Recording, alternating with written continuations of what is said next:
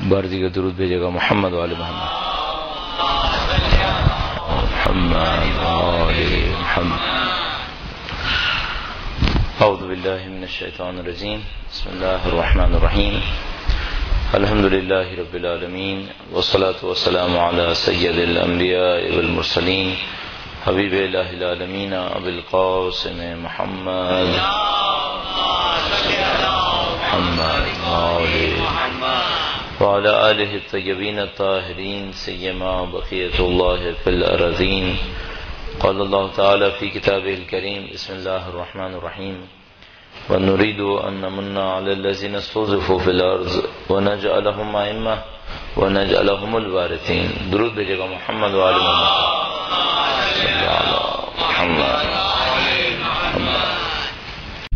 پروردگار عالم نے قرآن کریم میں ارشاد فرمایا کہ سنت اللہ التي فطر الناس علیہا لا تبدیل لخلق اللہ۔ فرمائی اللہ کی سنت ہے جس کے اوپر اس نے انسانوں کو خلق فرمایا ہے۔ سنت کا لفظ بہت سارے مطالب میں اور مفاہم میں استعمال ہوتا ہے۔ ایک سنت کا مطلب ہوتا ہے کہ مثال کے طور پر معصومین علیہ السلام نے جو کچھ اپنے قول، فعل اور عمل کے ذریعے ارشاد فرمایا، اس کو ہم سنت کہتے ہیں۔ ایک قرآن کریم میں سنت کا لفظ قانون کے لیے استعمال ہوتا ہے۔ اور یہ جو آئے کریم ہے، سنت اللہ التي فطر الناس علیہا، اللہ کی سنت ہے جس کے اوپر اس نے انسانوں کو خلق فرمایا ہے، وہ قانون کی طرف اشارہ ہے کہ جو کچھ خدا نمتال نے خلق فرمایا، سب کا سب قانون کے تحت ہے۔ اور علم جو کچھ بھی ہے، وہ قانون کو سمجھنے کی کوشش ہے۔ مثلا اگر آپ اور ہم کہتے ہیں کہ ہمارے پاس علم کیمیا ہے، کیمسٹری ہے، تو ایکچولی کچھ قوانین ہیں جو کیمیکلز کے اوپر حاکم ہیں۔ ان کو سمجھنے کی کوشش علم کیمیا ہے۔ فزکس میں آپ مادی اجسام کے اوپر جو قوانین حاکم ہیں، ان کو سمجھنے کی کوشش کرتے ہیں، تو اس کو ہم فزکس کہتے ہیں۔ اب سوال، مادی دنیا میں تو قوانین طے شدہ سی بات ہے کہ آپ مادی قوانین کو سمجھنے کی کوشش کر رہے ہیں، فزکس، کیمسٹری اور مختلف علوم کے ذریعے سے۔ آیا مانوی دنیا کے بھی کچھ قوانین ہیں؟ یا مانوی دنیا بغیر قوانین کے خلق ہو گئی ہے؟ تو یہاں پہ بہت سادہ سی بات ہے کہ اگر مادی دنیا جس نے صرف پچاس ساٹھ سال رہنا ہے، اس کی کوئی اللہ کے نزدیک اتنی اہمیت ہے کہ فرماتا ہے لہون و لائبن یہ کھیل کچھ زیادہ نہیں ہے، جو کچھ ہے وہ آخرت ہے۔ ون دار الآخرت اللہ الحیابان فرماتا ہے، دار آخرت آخرت کا جو گھر ہے وہی زندگی ہے۔ یہ تو زندگی ہے ہی نہیں تو کھیل کود ہے۔ تو جو کھیل کود ہے وہ تو قانون کے تحت ہے، اور وہ جو دار آخرت ہے وہ قانون کے تحت نہیں ہوگا۔ وہ قوانین کے تحت ہوگا۔ اس کے اندر قوانین ہونے چاہیے۔ اچھا جب وہ قوانین ہوں گے تو سوال یہ کہ وہ قوانین ہمیں سمجھ میں کیوں نہیں آتے؟ اور قوانین ہیں تو ہم ان کو استعمال کیوں نہیں کرتے؟ بالکل ایسے ہی جیسے مادی دنیا کے اندر بھی قوانین نہ سمجھنے کے دور میں ہمارے ساتھ یہی ہوتا تھا۔ میرے ذہن میں جو سادہ ترین مثال آتی ہے وہ بلڈ ٹرانسفیوژن کے حوالے سے کہ مثال کے طور پر جب تک لوگوں کو نہیں پتا تھا کہ بلڈ گروپس ہوتے ہیں تو وہ جسم کے اندر خون ایک دوسرے، ایک جسم سے دوسرے جسم میں ڈالتے تھے، تو پریشان ہو جاتے تھے کہ عجیب مشکل ہے۔ گورے کو گورا خون دیتے ہیں، گورے آدمی کے جسم میں گورے کا خون ڈالتے ہیں، مر جاتا ہے۔ کالے کے جسم میں کالے کا خون ڈالتے ہیں، مر جاتا ہے۔ اور کبھی گورے کا خون کالے کو لگ جاتا ہے، اور کبھی کالے کا خون گورے کو لگ جاتا ہے۔ سمجھ میں نہیں آتا کیا مشکل ہے۔ پہلے وہ سوچتے تھے، پتہ نہیں کیا مشکل ہے۔ ماں کا خون بیٹے کو دیتے ہیں، نہیں لگتا، اور غیر کا خون غیر کو دے رہے ہیں پھر لگ جاتا ہے۔ تو بہت اس میں پریشانی رہتی تھی کہ یہ پتہ نہیں کیا مشکل ہے۔ پھر لوگ کہتے تھے شاید کوئی قانون نہیں ہے، ایسے ہی ہے، بس خون کسی کا مل گیا تو صحیح ہے۔ بعد میں اندازہ ہوا کہ نہیں صاحب، سب غلط تھا۔ ہم غلط سمجھ رہے تھے۔ قانون تو ہے، اس قانون کا ہم نے کشف نہیں کیا تھا۔ جب تک قانون کشف نہیں کیا تھا، ہم اپنی غلطی کو، نادانی کو قانون نہ ہونا سمجھ رہے تھے۔ جب تک قانون کشف نہیں ہوتا غلطی ہم کرتے ہیں اور جواب میں کیا کہتے ہیں؟ ہم نے غلطی نہیں کی، قانون ہے ہی نہیں اصلا۔ مانوی دنیا میں بالکل ایسے ہی ہو رہا ہے۔ چونکہ ہمیں مانوی دنیا کے قوانین نہیں پتا، تو ہم بھی کہتے ہیں، پتہ نہیں کیا مشکل ہے۔ ایک دفعہ مسلمان کو عزت ملتی ہے، ایک دفعہ ذلت مل جاتی ہے۔ ایک دفعہ خدا اس کی دعا پوری کر دیتا ہے، ایک دفعہ دعا پوری نہیں کرتا۔ ایک دفعہ مانگ مانگ کے مر جاتے ہیں، پوری نہیں ہوتی۔ ایک دفعہ پتہ نہیں کیا ہوتا ہے، کوئی ایسے ہی کھڑے کھڑے کوئی بات کہتا ہے، پوری ہو جاتی ہے۔ ہمیں سمجھنا پڑے گا کہ اس کا مطلب یہ ہے کہ مانوی قوانین ہیں، لیکن مانوی قوانین سے ہماری غفلت ہے۔ کیونکہ غفلت کے دور میں لہذا ہم اس کو صحیح طور پر حل نہیں کر پا رہے۔ قرآن کریم کا سب سے بڑا مارکا یہ نہیں ہے کہ اس نے مثال کے طور پر کیمسٹری کے کچھ لاس بیان کر دیے وہ قرآن کریم بیان نہ بھی کرتا تو انسان اپنی مادی جدوجہد سے آگے بڑھتا کبھی نہ کبھی شاید کچھ نہ کچھ سمجھ ہی لیتا۔ نہ بھی سمجھتا تو اس کی زندگی میں کوئی بہت بڑا گیپ نہیں تھا، اگر وہ نہ سمجھتا۔ صحیح جو ترقی حاصل ہوئی ہے قرآن کریم کے ذریعے سے، وہ یہ ہے کہ خدا نمطال نے یہ جو مانوی قوانین تھے، یہ ختمی مرتبت کے ذریعے سے کشف کروا دیے دنیا کے سامنے۔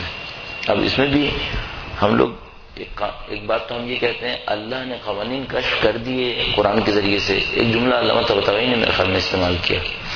یا ابھی مجھے بہت اچھا یاد نہیں آ رہا کس نے استعمال کیا تھا، لیکن بہت خوبصورت جملہ تھا۔ جملہ یہ تھا فرمائیں کہ جتنا بھی قرآن کریم ہے، اس کے ذریعے قوانین کشف ہوئے ہیں اور یہ کشف تامہ محمدی ہے۔ نبی اکرم کا نام استعمال کیا۔ درود بھیجے گا محمد والے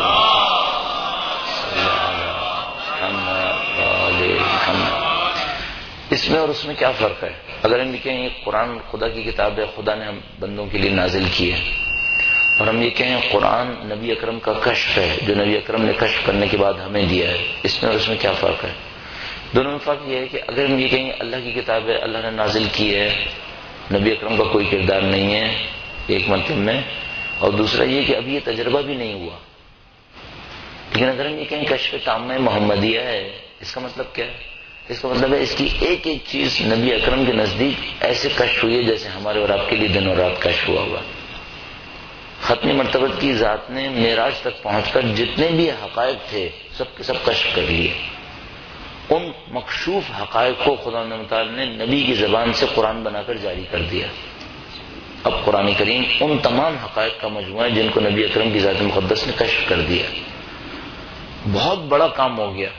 وہ قوانین جو رہتی دنیا تک انسانیت کی فلاح و بہبود کے لیے ضروری تھے، نبی اکرم نے اپنی ذات سے کشف کیے اور کشف ہونے کے بعد وہ ختم مرتبت کی زبان سے جاری ہوئے اور اللہ کے حکم سے قرآن کریم تشکیل پا گیا۔ اسی لیے معراج تک بھیجنا پڑا۔ یعنی اگر ظاہری دنیا میں دیکھیں تو پھر معراج تک بھیجنے کی ضرورت نہیں تھی۔ اگر صرف قرآن کریم نے نازل ہی ہونا تھا بار اس بحث میں جانے کا کوئی فائدہ زیادہ نہیں ہے۔ لیکن اس میں خوبصورتی یہ ہے کہ یہ نبی اکرم نے کشف کیے قوانین اور اس کے بعد دنیا کے سامنے بیان کیے۔ اب ان قوانین میں سے ایک قانون یہ جو میں آپ کی خدمت میں عرض کر رہا ہوں۔ یہ سورہ آل عمران میں ہے۔ سورہ آل عمران بہت نفیس اور بہت عمیق سوروں میں سے ایک سورہ ہے۔ یعنی اگر کسی کو اسلام کا مالیاتی نظام سمجھنا ہے فائنینشیل سسٹم سمجھنا ہے، سورہ آل عمران بہترین ہے۔ اگر کسی کو اہل کتاب کے ساتھ اسلام کے معاملات کو سمجھنا ہے، سورہ آل عمران بہترین ہے۔ اسی طریقے سے دشمنوں کے ساتھ رویے میں سورہ آل عمران کو سمجھنا انتہائی ہمارے خیال میں مفید ہے۔ چند آیاتی کریمہ کی تلاوت آپ کی خدمت میں عرض کروں گا۔ درود بھیجے گا محمد و محمد۔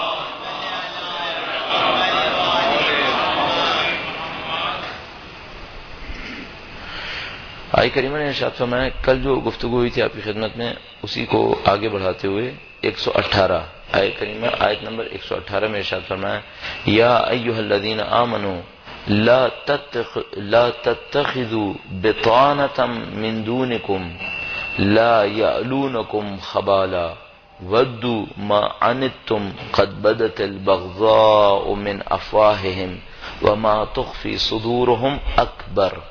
قد بینا لکم الآیات ان کنتم تعقلون۔ اس آئے کریمہ کی عربی روٹین میں جو قرآن کریم کی عربی استعمال ہوتی ہے، اس سے کافی مختلف ہے۔ اس میں کچھ ایسی ویکیبلریز استعمال ہوئی ہیں جو قرآن کریم میں زیادہ استعمال نہیں ہوئی ہیں۔ مثال کے طور پر بتانا میرے خیال میں قرآن کریم میں دوسری جگہ کہیں استعمال نہیں ہوئی ہے۔ میرے خیال میں بتانا خبالہ میرے خیال میں خبال شاید ایک آدھ جگہ آیا ہو، لیکن بہت کم ویکیبلری ایسی ویکیبلری جو یونیک یہیں پہ استعمال ہوئی ہیں۔ فرمایا، اے وہ لوگ جو ایمان لائے، لا تتخذوا بطانتا من دونکم، اپنے علاوہ کسی کو اپنا خاص مشاور مت بنانا۔ اپنے علاوہ کسی کو اپنا خاص مشاور بتانا کہتے ہیں ایسے صاحب اسرار کو۔ ایسا کوئی دوست جو انسان کا انتہائی نزدیکی دوست ہے، جس کے اوپر راز انسان دے رہا ہوتا ہے، اس کو اپنے کاموں کے اندر مشاور بنا رہا ہوتا ہے، اس سے ایڈوائزز لے رہا ہوتا ہے۔ فرمایا، لا تتخذوا بطانتا من دونکم اپنے علاوہ کسی کو مت بنانا۔ یہاں سے بہت سادہ سی بات سمجھ میں آ رہی ہے۔ وہ یہ کہ یہ جو ہم نے ورلڈ بینک سے اور آئی ایم ایف سے اپنے لیے ایڈوائزز لیے سب کے سب قرآن کی مخالفت میں کیا۔ ہرگز یہ کام نہیں کرنا چاہیے تھا۔ صاف لکھا ہوا اللہ تتخذوا بطانتا من دونکم۔ خواص، ان میں سے کسی کو نہیں بنانا۔ اپنے علاوہ کسی کو نہیں بنانا۔ فرمایا، لا یعلونکم خبالا۔ فرمایا کہ یہ تمہارے دین کو برباد کرنے میں کوئی کمی نہیں چھوڑیں گے۔ تمہارے دین کو برباد کرنے میں کوئی کمی نہیں چھوڑیں گے۔ ودو ما تم جتنا تم مشکلوں میں پڑو گے ان کو پسند آئے گا۔ مصیبتوں میں ڈالیں گے تمہیں۔ مصیبتوں میں تمہیں کچل دیں گے۔ انہیں تمہارا مصیبتوں میں کچلا جانا بہت پسند ہے۔ قد بدت البغضاء من افواہم ان کا بغض و کینہ ان کی زبانوں پہ جاری ہو چکا ہے۔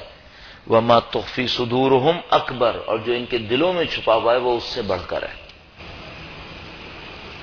میں اس سے زیادہ سری آیت ہمیں کسی بات میں اس معاملے میں نہیں ملے گی کہ ہم اگر سمجھ رہے ہیں کفر ہمارے لیے راستے معین کرے گا۔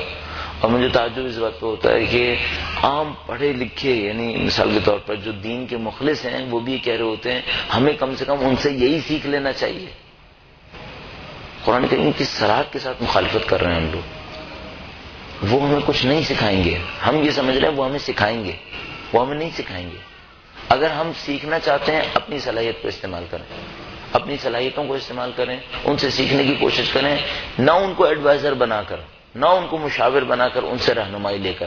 ہاں آپ مثال کے طور پر میں یہ نہیں کہہ رہا کہ مثال کے طور پر ہم ان کی یونیورسٹیز میں نہیں جائیں اور وہاں سے کچھ علم حاصل کرنے کی کوشش نہیں کریں۔ وہ تو عامل مومن کا فرمان ہمارے سامنے موجود ہے۔ لیکن یہ کہ وہ ہمارے لیے پالیسیز بنانا شروع کر دیں، وہ آئے ہمارے لیے طے کرنا شروع کر دیں کہ ہم نے اپنی زندگی کو بہتر بنانے کے لیے کیا کرنا ہے۔ قرآن کریم میں مشاط فرمایا، ہرگز ایسا نہیں ہوگا۔ یہ تمہیں مشقتوں میں ڈال ڈال کر خوش ہوتے رہیں گے۔ یہ تو ایک جملہ ہو گیا۔ اس کے بعد، ہمیں جیتنے کے لیے کرنا کیا ہوگا؟ فرمائے ان تمسس کم آیت نمبر ایک سو بیس میں ارشاد فرمائے ان ان تمسس کم حسنت تسو اگر تمہیں کوئی نیکی ملتی ہے، تو ان کو بہت برا لگتا ہے۔ وہ ان تصب کم سید یف رقو اور اگر تمہیں کوئی برائی ملتی ہے تو یہ بہت خوش ہو جاتے ہیں۔ وہ ان تصبرو لا یزر کم کئی کچھ آیات ایسی ہیں جو انسان کو امید دلاتی ہیں آخرت کے بارے میں۔ بس خدا تعالیٰ کہیں فرماتا ہے، ہم آخرت میں یہ جزا دیں گے، یہ جزا دیں گے۔ میں ایک دفعہ انہیں آیت اللہ بہدینی کے پاس بیٹھا ہوا تھا، تو ایک آیت کا ذکر کیا کہیں گے میں جب بھی آیت پڑھتا ہوں نا تو میرا دل باغ باغ ہو جاتا ہے کہ چلو قیامت میں کچھ ملنے والا ہے۔ کچھ آیتیں ہوتی ہیں بشارت دے رہی ہوتی ہیں آخرت کے لیے۔ تمہیں یہ ملے گا، تمہیں وہ ملے گا، قرب خدا میں سے۔ کچھ آیتیں دنیا میں بشارت دے رہی ہوتی ہیں۔ کم سے کم بشارت کیا ہے؟ کم سے کم بشارت یہ دشمن تمہیں نقصان نہیں پہنچا سکتا۔ دیکھیے سائے کریم نے کیا ارشاد فرمایا ان تصبروا وتتقوا، اگر تم صبر کرو اور تقوی اختیار کرو، لا یضرکم کیدہم شیئا۔ تمہیں ان کا قید و مکرو فریب کوئی نقصان نہیں پہنچائے گا۔ گارنٹی مل رہی ہے نا۔ اب ممکن ہے کوئی یہ کہ ان کے پاس چار سو تھنک ٹینک ہیں، وہ جو پلاننگ بناتے ہیں، وہ تو پچاس سال کی پلاننگ بنا رہے ہوتے ہیں، دو دو سال کی پلاننگ بنا رہے ہوتے ہیں، ہمیں بھی معلوم ہے۔ لیکن خدا نے ارشاد فرمایا ان تصبروا وتتقوا لا يضركم كيدهم شيئا اگر تم صبر کرو اور تقوی اختیار کرو تو ان کا مکر و فریب تمہیں کوئی نقصان نہیں پہنچائے گا۔ ایک اور آئے کریمہ میں ارشاد فرمایا تھا جو شاید اس سے زیادہ سری ہے۔ فرمایا تھا، لا یزرکم درود بھیجے گا محمد و آل محمد۔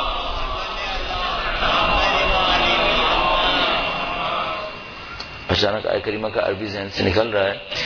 ارشاد یہ فرمایا تھا کہ اگر تم ہدایت پا جاؤ ازاح تم لا یزرکم من ضل اذا اهتدیتم اگر تم ہدایت پا جاؤ تو جو بھی گمراہ ہے وہ تمہیں کوئی نقصان نہیں پہنچا سکتا۔ وہاں پر ایک شرط رکھی تھی نقصان سے بچنے کی، کیا؟ ہدایت پا جاؤ۔ اگر تم ہدایت پا جاؤ تو جو گمراہ ہے وہ تمہیں کوئی نقصان نہیں پہنچا سکتا۔ یہاں پر اس ہدایت پانے کی تشریح کر دیے ہدایت پانے کا مطلب کیا ہے؟ فرمایا، ان تصبروا لا یزرکم کیدہم شیئا اگر تم صبر کرو اور تقوی اختیار کرو، تو وہ جو مکر و فریب کر رہے ہیں، ان کا مکر و فریب تمہیں نقصان نہیں پہنچائے گا۔ بس ہمارے سامنے دو کی ایلیمنٹس آ گئے۔ یعنی جو میں نے آپ کی خدمت میں پہلے دن عرض کیا تھا، آپ جب قرآن کریم کی کسی آیت کو پڑھیں تو اپنے آپ سے ایک سوال کریں، میرے اندر یہ دو چیزیں ہیں، میں کب تک دشمن سے ضرر اٹھاتا رہوں گا؟ کب تک دشمن مجھے نقصان پہنچاتا رہے گا؟ جب تک میرے اندر صبر نہیں ہے، جب تک میرے اندر تقوا نہیں اگر صبر نہیں ہے اور تقوا نہیں ہے، یہ ہمیں نقصان پہنچائیں گے۔ اگر صبر و تقوا آ گیا، پھر یہ ہمیں کوئی نقصان نہیں پہنچا سکتے۔ اب اس سلسلے میں اس سے مشابہ چند آیات کریمہ آپ کی خدمت میں عرض کروں گا۔ اسی سورہ میں ابھی دیکھ رہے ہیں کتنی امپورٹنٹ جگہ ہے یہ۔ ایک سو اٹھارہ نمبر آیت تھی، اس نے ایک مفہوم دیا تھا۔ ایک سو بیس نمبر آیت تھی، اس نے ایک مفہوم دیا۔ اب ایک سو پچیس نمبر آئے تھے خدا نے مطالعہ ارشاد فرماتا ہے کہ بلا ان تصبروا وتتقوا وياتوكم من فورهم هذا يمددكم ربكم بخمسه الاف من الملائكه مصومين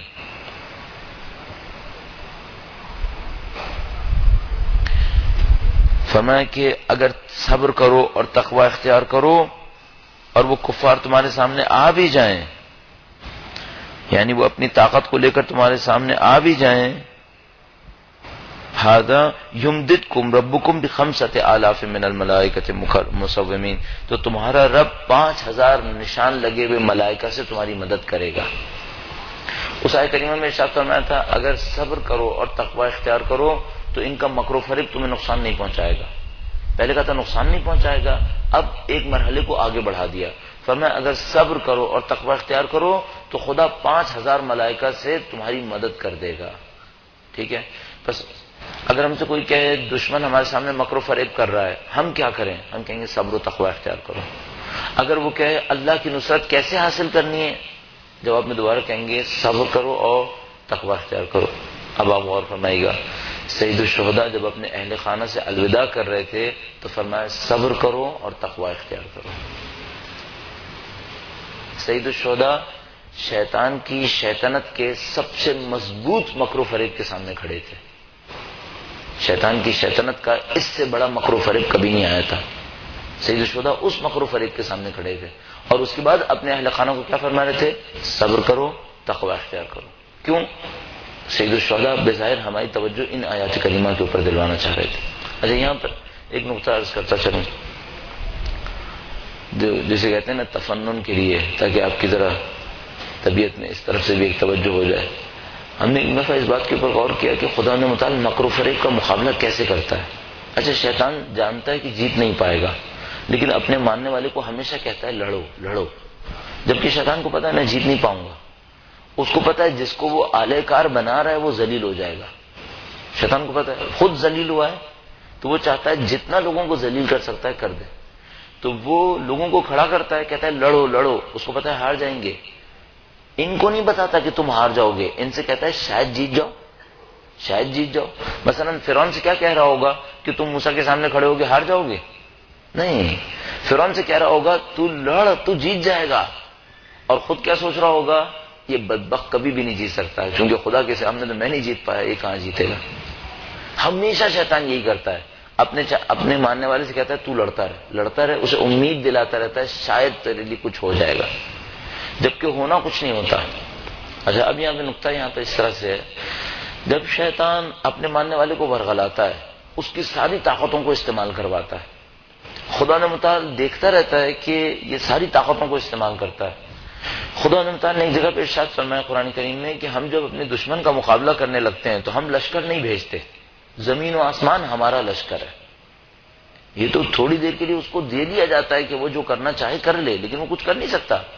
خدا کو بھی لشکر بھیجنے کی ضرورت نہیں ہے۔ اب یہاں پہ خوبصورت نقطہ دیکھیے گا۔ ابھی چند دن پہلے جب قرآن کریم کی تلاوت کے دوران حضرت ابراہیم کے واقعے پر پہنچا تو اس میں لکھا تھا، نمرود نے یہ کہا تھا کہ تم لوگ جمع ہو جاؤ۔ اور ابراہیم کے خلاف ون سرو آلحتکم اپنے خداؤں کی نصرت کرو۔ ان لوگوں کو بھڑکانے کے لیے کہہ رہا تھا ون سرو آلحتکم اپنے خداؤں کی نصرت کرو، ابراہیم کے خلاف آگ جلاؤ۔ اچھا اب میں سوچنے لگا کہ حضرت ابراہیم کے خلاف جب اس نے آگ جلوائی تو لوگوں سے کہا، تم سب لوگ لکڑیاں لے کر آؤ۔ اب پورے شہر سے لوگ لکڑیاں لے کر آئے، بہت بڑی آگ لگا لی آپ نے آپ سے سوچے گا، ایک انسان کو آگ لگانے کے لیے کتنی لکڑی چاہیے؟ مردے جو جلاتے ہیں ہندو وغیرہ، کتنی لکڑی میں جلا لیتے ہوں گے؟ مثال کے طور پر ایک ٹن ایک ٹن بہت ہوتی ہے، ہزار کلو۔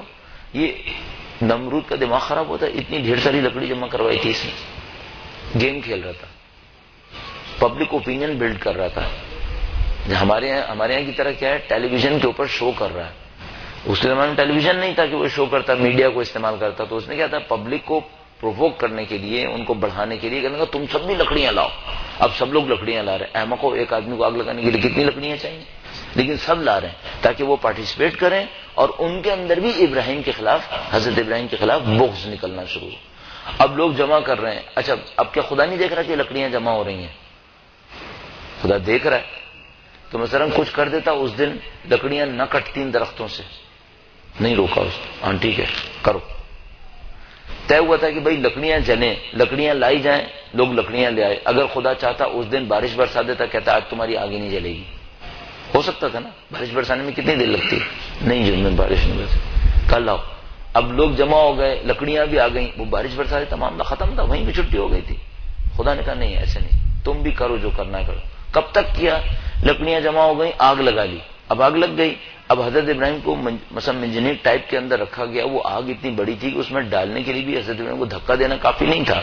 اس کو بیچ میں ڈالنے کے لیے حضرت ابراہیم کو کسی چیز سے پھینک کے ادھر اس میں ڈالا گیا تھا۔ اب میں سوچتا ہوں کہ حضرت ابراہیم کو جب پھینک رہے تھے تو مثلا وہ رسیاں ٹوٹ جاتی، نہ جاتے اندر، وہ بھی کر دیا۔ کیوں؟ خدا کیوں جلدی کرے؟ کیوں جلدی کرے خدا؟ یعنی جلدی وہ کرے، خدا ایک دفعہ قرآن کریم میں ارشاد فرماتا ہے، ہم کافروں کو عذاب کرنے میں جلدی نہیں کرتے۔ کیوں؟ سیف سجادیہ میں جملہ ارشاد فرمائے جلدی وہ کرے جس کو وقت نکلنے کا خوف ہو۔ اس کو وقت نکلنے کا خوف ہے ہی نہیں۔ وہ کیوں جلدی کرے؟ اچھا اس نے جلدی نہیں کی۔ کہاں تک لے کے گیا؟ حضرت ابراہیم کو ڈلوا دیا۔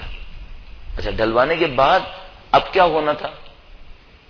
اب مثال کے طور پر فرشتوں کا ایک لشکر بھیجتا۔ نمرودیوں کے سروں کے اوپر کوڑے برسا، کچھ نہیں۔ سادہ سے ایک کام کیا کیا، اس نے فرمایا، یا نارو کونی بردن و سلاما۔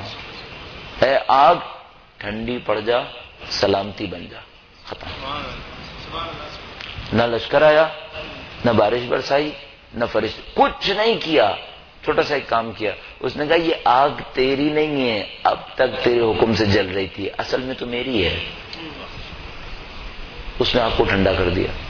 اب نہیں آگ ٹھنڈا ہونے کا شاید مطلب یہ بھی نہیں تھا کہ آگ بجھ گئی آگ جل رہی تھی۔ پھر بھی معاملہ کچھ نہیں ہوا۔ حضرت ابراہیم اس آگ سے ایسے ہی نکلا صحیح ہے؟ یہ بات سمجھ میں آتی ہے کہ اہل تقوی کو یہاں تک صبر کرنا پڑے گا۔ اگر خدا کی غیر معمولی نصرت چاہیے، تو اہل تقوی کو یہاں تک صبر کرنا پڑے گا کہ وہ آگ میں گر جائیں اور اعتماد کریں کہ آگ بھی خدا کے حکم سے چل رہی۔ ہے اگر چاہے گا تو اینڈ ٹائم پہ بچا لے گا۔ اہل تقوی کو یہاں تک جانا پڑے گا۔ اب میں آپ کو اس کی مثال واقع کربلا سے بھی دیتا چلوں۔ درست بھیجے گا محمد عالم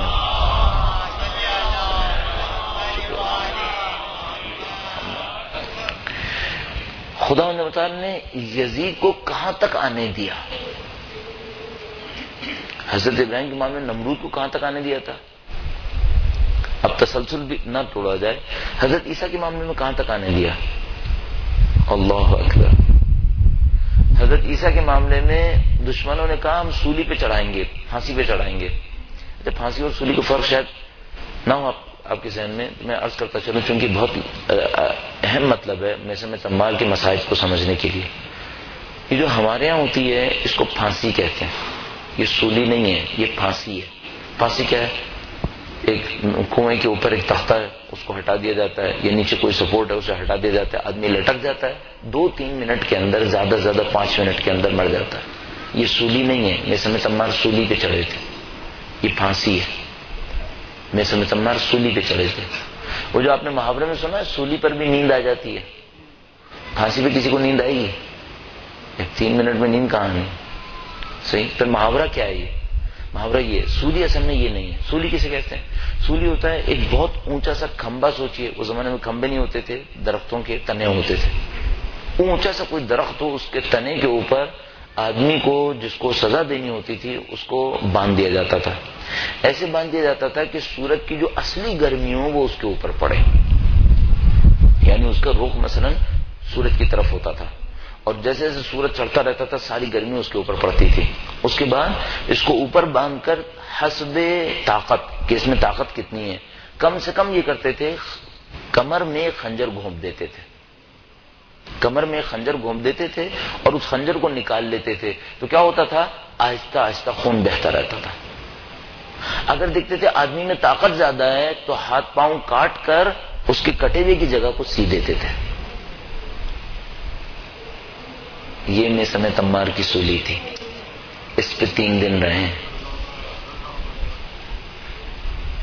ہم نے میں تمار کی مسائب کو نہیں سمجھا ابھی۔ سولی پہ تین دن رہے۔ تیسرے دن زبان کٹی ہے۔ تیسرے دن زبان کٹی ہے۔ اب سمجھا میں سمے تمار کی جرات کیا ہے۔ جو دو دن سولی پہ چڑھا رہے اور امیر مومنین کے فضائل پڑھتا رہے، وہ ہے میں سمے تمار اب ہمیں تفصیلات نہیں پتا کہ ان کے ہاتھ پاؤں میں سے کیا کچھ کٹا ہوا تھا۔ خنجر میں کتنے کتنے خنجر گھوپے ہوئے تھے۔ آیا خنجر نکالا تھا یا ابھی بھی چبھا ہوا تھا؟ یہ ہمیں نہیں معلوم، لیکن سولی اس کو کہتے ہیں۔ حضرت عیسیٰ علیہ السلام کے معاملے میں خدا نے کفر کو آنے دیا۔ کہا، ٹھیک ہے، کرو، کیا کرو گے؟ انہوں نے کہا، ہم سولی پہ چڑھا دیں گے۔ حضرت عیسیٰ کو شکنجے کیے۔ خدا نے برداشت کیا۔ دیکھا آخر وقت تک دیکھتا رہا، یہاں تک کہ جب حضرت عیسیٰ علیہ السلام کو انہوں نے اپنی دانش میں سولی پر چڑھا لیا، آخر میں ان کو پتا چلا یہ حضرت عیسیٰ نہیں تھے۔ حضرت عیسیٰ کو خدا نے اٹھا لیا۔ معجزہ دکھا دیا۔ ٹھیک ہے؟ اب ایک بات سوچئے گا۔ یہ دونوں انبیاء کرام علیہ السلام غیر معمولی معجزوں سے بچے تھے۔ کیا اس میں میرے اور آپ کے لیے سنت بن رہی تھی؟ یعنی کیا میں اتنا صبر کروں کہ خدا میرے لیے آگ کو ٹھنڈا کرے؟ جو ایک معجزہ ہے ایکچولی۔ تو میں سوچتا ہوں کہ نہیں، پتہ نہیں میرے لیے آگ ٹھنڈا ہوگی یا نہیں ہوگی۔ میرے لیے سنت نہیں بن رہی۔ حضرت عیسیٰ اسلام سولی پہ چڑھے، ان کی جگہ کوئی اور چڑھ گیا، حضرت عیسیٰ آسمان پہ چلے گئے۔ میرے لیے سنت بنی؟ نہیں، میرے لیے سنت نہیں بنی۔ کیوں؟ یہ خود ایک معجزہ ہے۔ عام آدمی کے لیے تھوڑی خدا معجزہ کرے اب سعید الشہدا کا کارنامہ کیا ہے؟ سعید الشہدا نے آخر وقت تک وہ ساری قربانیاں دی جو ایک آدمی دے سکتا تھا۔ اور بظاہر کوئی معجزہ نہیں ہوا۔ یہ سعید الشہدا کا کارنامہ ہے۔ اس خاطر سعید الشہدا میرے اور آپ کے لیے سنت ہے کوئی آگ نہیں بجھی۔ کوئی چہرہ تبدیل نہیں ہوا۔ کوئی آسمان پہ نہیں اٹھائے گئے۔ سعید الشہدا کا لاشا بھی پامال ہو گیا۔ خدا سب دیکھتا رہا۔ کیوں؟ اس نے ایک عام انسان میرے جیسے کوئی سمجھانا تھا کہ دیکھو، تم ابراہیم کی طرح تو نہیں بن سکتے، کیونکہ تم تمہارے لیے موجہ نہیں ہو رہا تمہارا عیسیٰ کی طرح موجہ نہیں ہو رہا، لیکن تم میرا ایک بندہ دیکھو جو بغیر موجے کے میری نصرت کر رہا ہے، وہ سعید الشہدا بغیر کسی آسمانی موجے کے لڑ رہے موجہ نہیں ہو سکتا تھا کیا؟ ہو سکتا تھا۔ بغیر موجے کے لڑتے رہے۔ کس کو دکھانے کے لیے؟ اب سمجھ میں حسین کا نام زندہ رہنا کیوں ضروری ہے؟ کیوں خدا نے حضرت ابراہیم کا نام نہیں چاہا کہ حسین کی طرح زندہ رہے؟ کیوں تمام اہل بیت اطار علیہ السلام نے سعید الشہدا کے نام پر اتنی تاکید کی ہے؟ دوسروں کے نام پہ اتنی تاکید نہیں ہوئی۔ ہم کسی امام کا غم اتنی شدت سے نہیں مناتے جتنا سعید الشہدا کا غم مناتے ہیں۔ کبھی کبھی میں بچپن میں تعجب کرتا تھا، میں سوچتا تھا، امیر المومنین کا ہم غم اتنی شدت سے نہیں مناتے جتنی شدت سے سعید الشہدا کا مناتے کیوں ایسا ہے؟ بعد میں سمجھ میں یہاں پہ سنت جاری کچھ اور ہوئی ہے۔ اب یہاں پر عرض کرتا چلوں، ایک موقع پر خدا نے آ کر چھوٹی سی ایک سنت توڑ دی۔ وہ بھی قانون کے تحت ہے۔ میں کہہ رہا ہوں توڑ دی ایکچولی ایک اور قانون تھا جو یہاں پہ جاری ہوا۔ چھوٹا سا ایک کام کیا ہے۔ اس نے سارے مارکے کو تبدیل کر دیا۔ نمرود کا مارکا کب تک چلا تھا؟ جب حضرت ابراہیم اندر گرے تھے۔ اس موقع پہ خدا نے کہا، یا نارو کونی بردن و سلامہ معاملہ ختم ہو گیا۔ حضرت عیسیٰ کا مارکا چلا اس وقت تک جب تک وہ سولی پہ چڑھے۔ پھر خدا نے ان کو آسمانوں پہ اٹھا لیا۔ سید الشہدا کا مارکا کب تک چلا؟ لاشا بھی پامال ہو گیا۔ کوئی موجہ نہیں ہوا۔ پہلا موجہ ایسا موجہ جس نے میدان تبدیل کیا کب تھا؟ جب بازار کوفہ آیا اور سعید الشہدا کے سر نے کہا، ام حسبتا انا صاب القاف والرقیم کانو من آیاتنا عجبا۔ یہ بازار کوفہ میں سعید الشہدا کے سر نے پہلی آیات کریمہ پڑھنا شروع کی، وہاں سے سارا ہمارے کا تبدیل ہو گیا۔ وہاں سے سب بدل گیا۔ اب میں پھر دوبارہ آپ کی خدمت میں کروں، اس میں انبیاء کا کام کیسے نظر آتا ہے؟ حضرت ابراہیم کے مارکے میں وہ جو لوگ جمع ہوئے تھے، جن کے سامنے حضرت ابراہیم کا معجزہ آیا، ان کو حضرت ابراہیم نے جمع کیا تھا یا نمرود نے؟ ان کا نمرود نے جمع کیا تھا۔ اس نے کہا تھا ونسرو آلحتکم حضرت ابراہیم نے نہیں جمع کیا تھا۔ لوگ نمرود نے جمع کیے تھے، معجزہ خدا نے دکھایا اور شان کس کی بڑھ گئی؟ حضرت ابراہیم کی۔ صحیح ہے؟ حضرت عیسیٰ علیہ السلام کے معاملے میں جب ان کو پھانسی پہ چڑھایا جانے لگا، سولی پہ چڑھایا جانے لگا، بہت لوگ جمع کیے، یہودی احبار نے۔ حضرت عیسیٰ نے جمع لوگ کیے تھے لوگ؟ نہیں۔ لوگ دشمن جمع کر رہا تھا۔ لیکن خدا نمتان نے جو معجزہ دکھایا تو معاملہ پلٹ گیا۔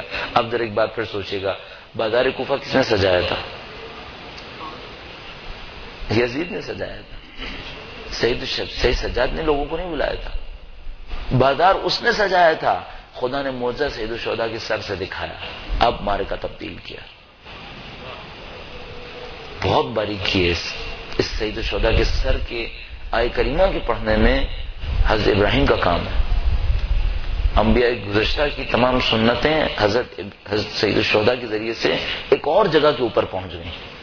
وہ تمام سنتیں ایک جگہ تک لاتی تھیں، چھوڑ دیا کرتی تھیں۔ سعید الشہدا کے ذریعے وہ سنتیں کسی اور جگہ پہنچ گئیں۔ ایک ایسی جگہ پہنچ گئیں جہاں ایک عام آدمی یہ سوچے کہ مجھے اس سنت کے اوپر عمل کرنا ہے اور امید کو اپنے دل میں زندہ رکھے۔ درود بھیجے گا محمد والے محمد۔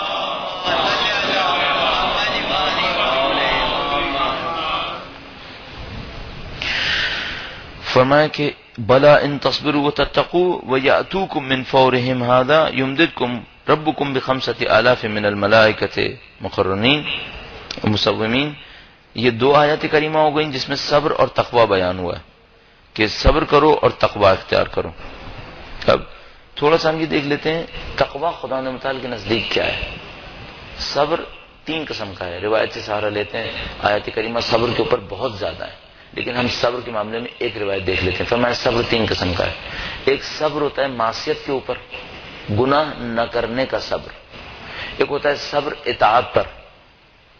آپ اچھا کام کر رہے ہیں، اس پہ صبر کرنا پڑتا ہے۔ معصیت پہ صبر کیا ہے؟ مثال کے طور پر کسی آدمی کے سامنے گناہ کا موقع آیا، اس نے گناہ نہیں کیا، صبر کیا۔ یہ صبر خدا کو بہت پسند ہے۔ لگتا یوں ہے کہ خدا کو اطاعت کا صبر اتنا نہیں پسند جتنا معاشیت سے بچنے کا صبر خدا کو پسند ہے۔ کیونکہ جن لوگوں کو خدا نے مطالعہ نے غیر معمولی طریقے سے نوازا ہے، معمولاً وہ لوگ ہیں جنہوں نے گناہ کے اوپر صبر کیا۔ اطاعتوں پہ صبر بھی اچھا ہے، خدا تعالیٰ کو پسند ہے، لیکن گناہوں کے اوپر صبر، وہ بہت شانی کچھ اور ہے اس کی۔ بس ایک انسان پانچ اطاعتیں کرے اور ایک گناہ کرے تو وہ پانچ کی پانچ ختم ہو جاتی ہیں۔ لیکن اطاعت کم کرے اور گناہ پہ صبر کرتا چلا جائے، وہ بہت بڑی فضیلت ہے۔ گناہ پہ صبر کرنا بہت بڑی فضیلت ہے یعنی گناہ نہ کرے، اس کی اس کے اس کے مقابلے میں صبر کرے۔ بس ایک صبر اطاعت پہ صبر ہے، ایک صبر معاشیت پہ صبر ہے، ایک صبر شدائد پہ صبر ہے، مشکلات پہ صبر ہے۔ ایک عجیب روایت ملاحظہ ہوئی، کتب روایت کے اندر لکھی ہے کہ کچھ لوگ شہید ہوں گے، شہید ہوں گے، تو خدا نمتال کی طرف سے ان کو وعدہ ملے گا کہ تم لوگ جنت کے اندر داخل ہو جاؤ، بلا حساب، کوئی حساب کتاب نہیں ہوگا۔ فرشتوں ان کو لے کے جائیں گے جنت کے دروازے پہ وہ جنت کے دروازے پہنچیں گے، دیکھیں گے عجیب مارکا ہے، کچھ لوگ پہلے سے بیٹھے ہوئے کچھ لوگ ان سے بھی پہلے جنت پہ بیٹھے ہوئے وہ خدا نے مطالعے سے کہیں گے، خدایا، ہم نے تیری راہ میں خون بہایا، تو نے ہمیں بلا حساب داخل کیا، ہم تو سمجھے ہم پہلے ہوں گے، یہ پہلے سے کون ہے؟ اب بجائے یہ کہ میں کچھ کہوں، آپ اپنے طور پر سوچیے کون سے لوگ ہوں گے؟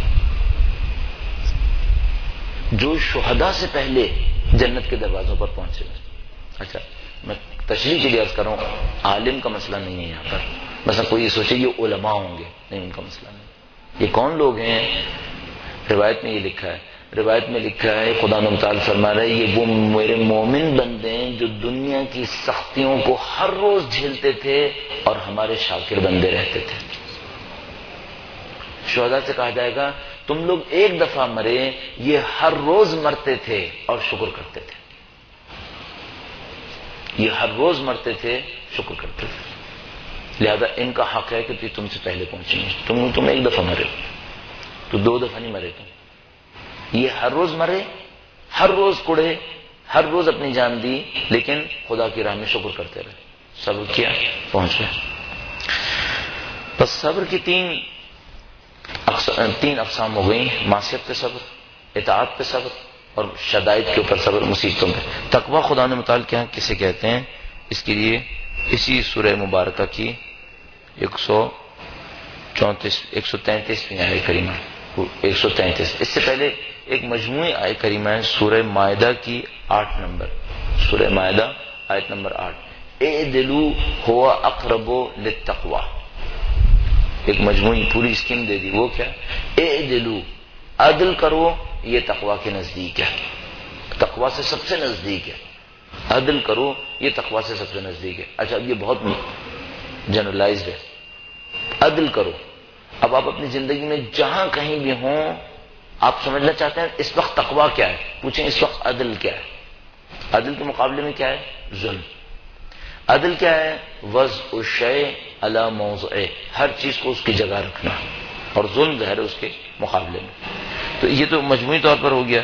آئے کریمہ نے بعد میں اس کی تشریح کی ہے۔ درود بھیجے گا محمد والے محمد پر۔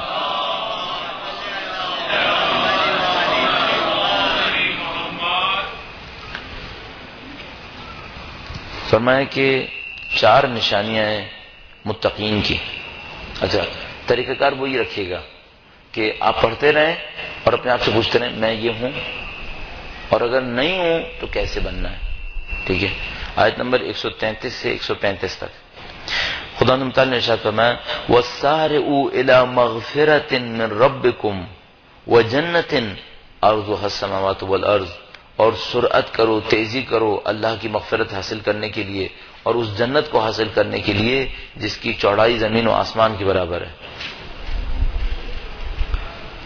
اس میں بھی خوبصورتی ہے کہ جنت کیسی ہے جس کی چوڑائی زمین و آسمان کے برابر ہے؟ پھر یہ خود کہاں پر ہے؟ زمین و آسمان کے علاوہ کہیں اور ہے کیا؟ یہ غلط ہے ویسے یہ برزخ کی ہے، یہ قیامت آخرت جو کچھ بھی ہے۔ فرمائے کہ جلدی کرو مغفرت حاصل کرنے کے لیے اپنے رب کی اور ایسی جنت کو حاصل کرنے کے لیے جس کی چوڑائی زمین و آسمان پر ہے۔ او عدت للمتقین، یہ جنت متقین کے لیے بنائی گئی ہے۔ کہیے اب متقین کون ہے الذین ينفقون فی السراء والضراء۔ متقین وہ ہوتے ہیں جو آسانی اور سختی دونوں میں انفاق کرتے ہیں۔ مال خرچ کرتے ہیں۔ پہلی علامت کیا ہو گئی؟ آسانی میں ہو یا سختی میں ہو اللہ کی راہ میں مال خرچ کرتے رہتے ہیں۔ اب میری ضروری تو نہیں کہ بار بار کہوں کہ ہیں ہم یا نہیں ہیں۔ اگر ہم ہوتے تو ہمارے یہاں غریب نہ ہوتے۔ میں نہیں کہہ رہا وہ جو بڑے بڑے ٹائکونز ہیں وہ انفاق نہ کریں، وہ انفاق نہیں کریں۔ نہیں، وہ تو کر ہی نہیں گئے۔ وہ تو ایک رات بھی کرتے تھے تو معاملہ حل ہو جانا تھا۔ ہم متوسط طبقے کے لوگ بھی نہیں کر رہے۔ اگر ہم متوسط طبقے کے لوگ بھی کر رہے ہوتے تو ہمارا، ہمیں ایک ایک متوسط طبقے کی فیملی ایک ایک غریب فیملی کو سنبھال لیتی۔ تو پھر معاملہ ختم ہو جانا چاہیے تھا۔ بہت آسان تھا یہ معاملہ۔ ابھی ہم نے غور کیا، کراچی میں کتنے شیعہ خاندان ہوں گے؟ میں نے شاید آپ کی خدمت میں عرض کیا تھا، میں نے بہت رف ایسٹیمیٹ کیا تو کم از کم تین لاکھ شیعہ خاندان ہوں گے۔ تین لاکھ شیعہ خاندان ہوں گے۔ ان میں سے کتنے، کتنوں کو سنبھالیں تو مشکل حل ہو جائے گی۔ بہت سادہ کیلکولیشن یہ کہہ رہی ہیں کہ اگر ٹاپ ففٹی ٹاپ ففٹی اوپر سے مالی لحاظ سے اوپر سے پچاس. اگر دس فیصد بھی سنبھالنے کی کوشش کر لیں، تو نیچے کے پچاس فیصد سنبھل جائیں گے. اگر اوپر کے پچاس فیصد دس فیصد بھی آئیں اور کہیں کہ اوپر کے پچاس فیصد میں سے دس فیصد آئیں اور کہیں کہ ہم نیچے والوں کو سنبھال لیں گے، تو ہمارے یہاں کوئی فقیر نہیں ہوگا. معاملہ حل ہے۔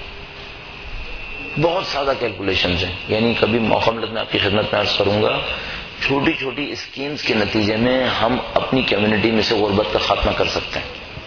کوئی مشکل کام نہیں۔ لیکن صرف ہماری موبلائزیشن کی بات، مشکل یہ ہے۔ ہم موبلائز ہو جائیں، تحرک دکھانا شروع کر دیں۔ اب اس کے اوپر زیادہ تفصیل انشاءاللہ کسی اور موقع پر جب ہم اپنی معاشیات کے اوپر گفتگو کرنے لگیں تو ہم دیکھ پائیں گے اس کو۔ ابھی تو ہمیں اپنے کام کے لیے سمجھ میں آتا ہے۔ متقی کون ہے الدین یونفقون فی السراء والضراء۔ جو سختی اور آسانی میں انفاق کرے۔ ہم لوگ کہتے ہیں انفاق وہ کرے جس کے پاس بہت ہو۔ خدا کہتا ہے نہیں۔ اگر متقی بننا ہے، سختی میں بھی کرو، آسانی میں بھی کرو۔ صاف لکھ دیا۔ دوسری بات۔ والکاظمین الغیظ۔ یہ میرے جیسوں کے لیے۔ کہا وہ ہیں جو اپنے غصے کو پی لیتے ہیں۔ متقی ہے متقی وہ ہے جو اپنے غصے کو پی لیتا ہے۔ تیسرا، والعافین عن الناس، متقی وہ ہے جو لوگوں کو معاف کر دیتے ہیں۔ لوگوں کو معاف کر دیتے ہیں۔ کوئی بدلہ نہیں لے رہے، کوئی انتقام نہیں لے رہے۔ ایک دفعہ معاملہ ہے، کسی نے دین میں خدشہ ڈالا ہے، ہم کہیں اس کو بھی معاف کر دو۔ نہیں، اس کو نہیں معاف نہیں کرنا ہے۔ اس سے تو پوچھنا ہے، تو نے دین کے اندر یہ حرکت کیوں کی؟ دین کو برباد کیا، منحرف کیا، اس کا مقابلہ کرنا ہے۔ میرے حق پر اگر کسی نے ڈاکہ ڈالا، اسے بخش دوں یا نہیں بخشوں؟ وہ بھی کوئی ایسا حق ہو جو قابل بخشش ہو، مثال کے طور پر۔ والعافین عن الناس۔ تین والذین اذا فعلوا فاحشتا او ظلموا انفسهم ذکر اللہ فاستغفروا لذنوبهم۔ اور وہ لوگ کہ جب کوئی فوش کام انجام دیتے ہیں یا اپنے نفس پہ ظلم کرتے ہیں تو اللہ کا ذکر کرتے ہیں اور استغفار کرتے ہیں اپنے گناہوں کے لیے۔ چار۔ قرآن کریم نے متقین کی یہ چار علامتیں بیان فرمائی ہیں۔ درود بھیجے گا محمد و علیہ محمد۔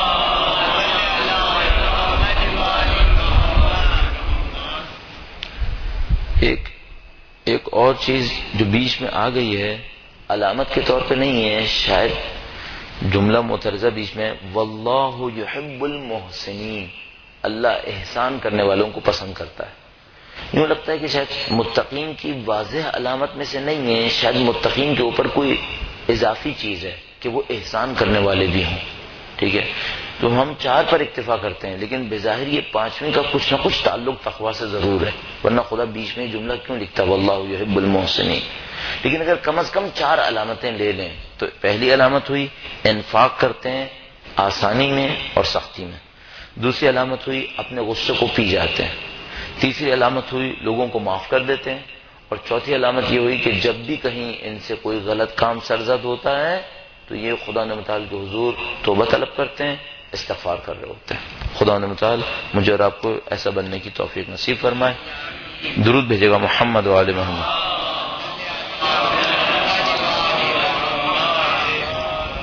ایک بار پھر درود بھیجے گا محمد و علیہ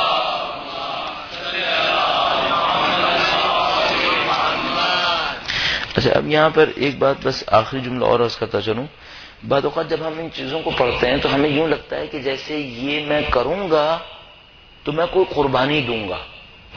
یعنی اب چار علامتیں ہو گئیں۔ انفاق کرتے ہیں، غصے کو پیتے ہیں، لوگوں کو معاف کر دیتے ہیں، گناہوں کی توبہ کرتے ہیں۔ اچھا ہم مثال کے طور پر ہم سے کوئی یہ کہتا ہے کہ بھائی، اگر تم نے یہ چار کام کیے نا، تو میں تمہیں فلاں انعام دوں گا۔ تو یہ چار کام کیا ہوتے ہیں؟ یہ وہ چار کام ہوتے ہیں جن میں ہمارا کچھ جا رہا ہوتا ہے۔ تو ہم یہ کہتے ہیں، چلو میں یہ چار دوں گا، یہ مجھے کیا دے گا؟ ٹھیک ہے؟ اچھا خدا کا معاملہ بھی ایسا ہی ہے۔ کہہ رہے، تم یہ چار چیزیں دو، پھر میں تمہیں تقوا کا ٹائٹل دوں گا۔ تو وہ چار چیزیں مجھے کچھ دینی ہے کیا؟ نہیں، اتفاقاً یہ چار بھی وہ ہیں جو میرے کام کیے ہیں۔ چار چیزیں کیا تھیں؟ انفاق کرو۔ انفاق کرنے میں میری جیب سے کچھ جائے گا کیا؟ نہیں، جائے گا گا کچھ نہیں۔ سات سو گنا بن کے میں واپس آئے گا۔ غصے کو پی جاؤ۔ اچھا غصہ کروں گا تو فائدہ ہوگا۔ نہیں، غصے کو پینے میں فائدہ ہے۔ لوگوں کو معاف کر دوں۔ لوگوں کو معاف نہ کروں تو کوئی فائدہ ہونا ہے؟ اس میں بھی کوئی فائدہ نہیں ہے۔ اور استغفار کرو، استغفار نہ کروں تو فائدہ ہوگا۔ نہیں، اس میں بھی نہیں۔ بس یہ دنیا نہیں ہے، مثلا دنیا میں ہوتا ہے، اگر کوئی یہ چار کام کرے تو یہ دے دیا جائے گا اسے۔ تو وہ چار کام میں کچھ جا رہا ہوتا ہے۔ تو پھر ہمیں دیکھنا ہوتا ہے یہ جو چار دیں گے تو کیا لیں گے؟ تو کوئی یہ سوچے ہم یہ چار چیزیں دیں گے، بنیں گے متقی۔ تو متقی بن کے پھر کیا ہوا؟ ان چار میں بھی کچھ ملنا ہے۔ ان چار میں بھی جانا کچھ نہیں ہے۔ مثلا انفاق پہ کیا ملنا ہے؟ ایک آئے کریمہ بس انفاق کی آپ کی خدمت میں آس کرتا چلوں درود بھیجے گا محمد والے محمد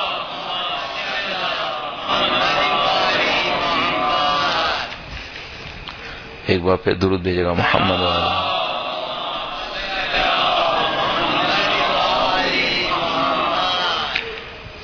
فرمائے مسل الذین ينفقون اموالهم فی سبیل اللہ کا مسل حبت انبتت سبع سنابل فی کل سنبولت مئت حبہ واللہ یضاعف لمن یشاء واللہ واسع علیم فرمایا، ان کی مثال جو اپنے مال میں سے اللہ کی راہ میں انفاق کرتے ہیں، ان کی مثال ایک دانے گندم کی سی ہے، جس کو بو دیا گیا ہے، اس سے سات خوشے نکلے ہیں، ہر خوشے میں سات سو سات ہر خوشے میں سو دانے ہیں۔ اور جس کو خدا چاہتا ہے تو اس سے زیادہ بڑھا دیتا ہے۔ ٹھیک ہے؟ ایک دانہ بویا ہے، سات بالیاں نکلی ہیں، اس میں خوشے ہیں، ہر خوشے میں سو دانے ہیں۔ اس کا مطلب ایک کے اوپر سیون ہنڈریڈ ویسے ہی بننے ہیں۔ اس کے بعد فرماتے ہیں اللہ یضاعف لمن شاہ خدا جس کو چاہتا ہے اس سے بھی بڑھا کر دیتا ہے۔ بس یہ میں نے آخری بات آپ کی خدمت میں عرض کی وہ یہ کی کہ اگر خدا فرما رہا ہے یہ چار کام کرو تو متقی ہو جاؤ گے۔ اس کا مطلب یہ نہیں کہ یہ چار میں مجھے کچھ دینا ہے۔ نہیں، ان چار میں بھی مجھے کچھ ملنا ہے۔ بس نیٹ سودا ہمارے فائدے کا ہے۔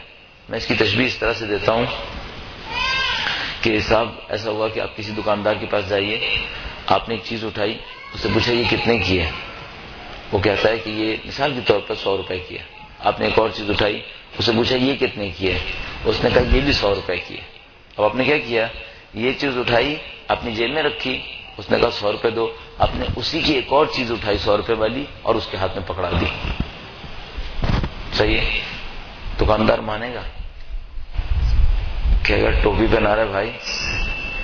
ہماری چیز اٹھا کے ہمیں ہی دے رہا ہے اور لے کے بھی جا رہا ہے۔ ٹھیک ہے؟ اچھا خدا کیا کر رہا ہے؟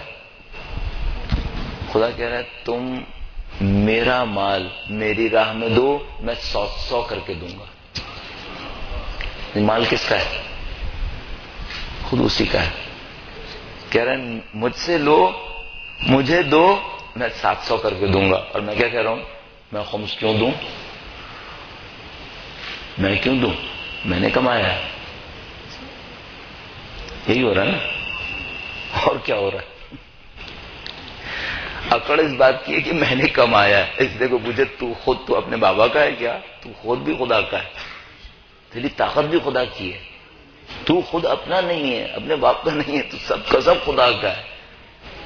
کوئی کسی کا نہیں ہے، سب خدا کا ہے۔ اور اسی کو دینے میں اکڑ ہے کہ میں کیوں دوں؟ پھر جوتے نہیں پڑنے چاہیے ہمیں۔ ہماری قوم کے ساتھ یہی ہونا تھا نا پھر ذلت اٹھانی پڑتی ہے نا پھر۔ اب خدا کے سامنے اکڑتے رہیں گے تو پھر کچھ نہ کچھ تو ہوگا پھر۔ یہ مشکل ہے ہم لوگ کے ساتھ۔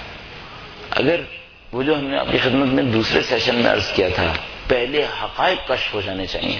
حقیقت کیا ہے؟ کوئی چیز ہماری نہیں ہے۔ وَلِلَّهِ مَا فِي السَّمَاوَاتِ وَالْأَرْضِ۔ جو کچھ زمین و آسمان میں ہے، سب کا سب خدا کا اگر کسی کو یہ ایک جملہ سمجھ میں آ جائے، نہ مال نکالنا مشکل ہے نہ اولاد قربان کرنا مشکل ہے، نہ اپنی جان دینا مشکل ہے۔ سب آسان ہے، اگر ایک بات سمجھ میں آ جائے۔ جو کچھ ہے، سب خدا کا میرا نہیں ہے۔ لہٰذا میں اپنے دوست کو دیکھتا تھا، اول طالب علمی میں ہم لوگ کلاس ایک روم میں تھے، ہاسٹل میں ساتھ رہتے تھے۔ تو ہم لوگوں کی عادت تھی، ہم لوگ جب طالب علم ہوتے تھے، سب لوگ کتابیں لیتے تھے۔ تو سب کی کتابیں ایک جیسی ہوتی تھیں۔ تو ڈر ہوتا تھا کہ وہ کتابیں مکس ہو جائیں گی۔ تو ہم لوگ کتاب کے پہلے صفحے کے اوپر نام لکھ دیا کرتے تھے۔ اپنا نام لکھ دیا کرتے تھے۔ اس بندہ خدا کی عادت تھی، جب کتاب کھولتے تھے، یہاں پہ لکھا تھا وہ اللہ اس کا مالک ہے۔ وہ المالک ہے اس نے کتاب کی ملکیت میں بھی اپنا نام لکھنا پسند نہیں کیا۔ کتاب کی ملکیت میں بھی جگہ لکھتا تھا، ہو المالک، اللہ مالک ہے۔ میں مالک نہیں ہوں یہ بات اگر ہمیں سمجھ میں آ جائے کہ خود سب چیزوں کا خدا مالک ہے، تو پھر نہ انفاق مشکل ہے، نہ قربانی مشکل ہے، نہ ایثار مشکل ہے، کوئی چیز مشکل نہیں ہے، کیونکہ خدا مالک ہے۔ اچھا اب یہ یہ سمجھ میں آتا کیسے ہے؟ کچھ میرے خیال میں غور و فکر کرنے سے سمجھ میں آتا ہے، اور کچھ خدا نے مطالعے سے طلب کیا جاتا ہے کہ خدا میرے دل کو مطمئن کر دے کسی طرح سے۔ دل کو مطمئن کر دے اب سیف سجادی میں دیکھیں، ایسی دعائیں بہت ہیں۔ جس میں مولانا ارشاد فرمایا، خدا یا تو مجھے اپنا ایسا بندہ بنا دے۔ اس کا مطلب ہے، ایسا بندہ بننے کے لیے بھی توفیق چاہیے۔ مثلا یہ جو ہم سوچ رہے ہیں کہ ہمیں یہ سمجھ میں آ جائے کہ جو کچھ زمین و آسمان میں یہ اللہ کا ہے۔ یہ ایسی سمجھ میں آ جائے گا؟ منطق اور فلسفے کی دلائل دے دے کے سمجھ میں آ جائے گا؟ نہیں آئے گا۔ صحیح سجادی کی روشنی میں اس کے لیے بھی خدا سے طلب کرنا پڑے گا کہ خدا تو ہمیں ایسا بندہ بنا دے جو اپنی کوئی چیز نہ سمجھے، سب کا سب تیرا ہی سمجھے۔ تو پھر ہمارے لیے تیرے دین پہ چلنا آسان ہو جائے گا۔ پھر ہمارے لیے دین پہ چلنا، ورنہ کوڑن بہت زیادہ ہے پھر۔ ورنہ دیکھیں نا، صبح کی نماز پڑھنے میں بھی کوڑن ہے کہ یار یہ کیا ہے؟ سب نیند کے مزے لینے ہم اٹھتے ہیں نماز پڑھیں۔ ہر چیز میں کوڑن ہے پھر۔ وہ ان کبیرتن اللہ الخاشین یہ نماز بہت سخت ہے، مگر ان لوگوں پر جن کے دلوں کو خدا نے خاض و خاشے کر دیا۔ پروردگار سے دعا کرتے ہیں، پاک پروردگار، اس قلیل کو ہم سے قبول فرما۔ اے پاک پروردگار، تو نے اپنے دین کو ہمارے سامنے بیان کر دیا ہے، اس پر عمل کرنے کی توفیق نصیب فرما۔ اے پاک پروردگار، تو نے اپنی کتاب ہمارے لیے بھیج دی۔ ہے پاک پروردگار، اس کو سمجھنے اور عمل کرنے کی توفیق نصیب فرما۔ اے پاک پروردگار، تو نے اپنی حجت کو ہمارے لیے رسال فرما دیا ہے۔ وہ پردہ غیبت میں ہے پاک پروردگار۔ تجھے واسطہ محمد و آل محمد کا ان کے ظہور میں تاجیل فرما۔ نسل بعد نسل ہمیں اور ہماری نسلوں کو ان کے بہترین اول و انصار میں قرار فرما۔ اے پاک پروردگار، ہماری خامیوں، ہماری برائیوں لفزشوں خطاؤں، گناہوں سے تو واقف ہے۔ پاک پروردگار، تجھے واسطہ محمد و آل محمد کا ہماری ان تمام کوتاہیوں کی مغفرت فرما۔ ان کو برطرف فرما۔ اے پاک پروردگار تو نے ماہ رمضان دیا جو اپنے اختتام پر ہے۔ تجھے واسطہ حجت خدا کا۔ ہمارے گناہوں کو نہ دیکھ، اپنی اف و مغفرت کو دیکھ۔ ہمارے اور ہمارے مرحومین کے تمام گناہ صغیرہ و کبیرہ کی مغفرت فرما۔ اے پاک پروردگار، تجھے واسطہ محمد و آل محمد کا اس دنیا سے زندگی کا اختتام اہل بیت کی راہ میں شہادت قرار فرما۔ ایک سورہ فاتح اور تین مرتبہ سورہ اخلاص۔ اب اپنے تمام مرحومین تمام شہداء اسلام کے لیے تلاوت